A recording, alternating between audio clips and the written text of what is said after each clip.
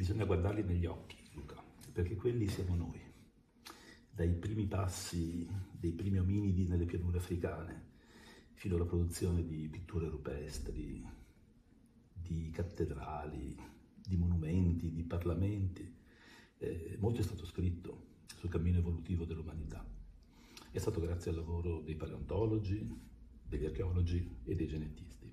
Ma oggi abbiamo fatto un passo in più, perché grazie alla capacità di leggere a fondo il DNA di tante persone diverse, del presente e del passato, oggi possiamo attribuire anche un aspetto a queste persone, vedere come erano fatti. E allora possiamo guardare negli occhi tanti nostri antenati, da Homo erectus, il primo che ha imparato a usare il fuoco, alle piccole creature dell'isola di Flores in Indonesia che qualcuno ha proposto di chiamare Hobbit.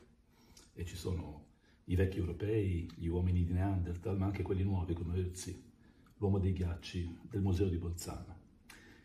E così, guardandoli negli occhi, forse potremo capire meglio che nonostante tanti anni, migliaia o milioni di anni ci separino da loro nel tempo, in un certo senso noi siamo loro.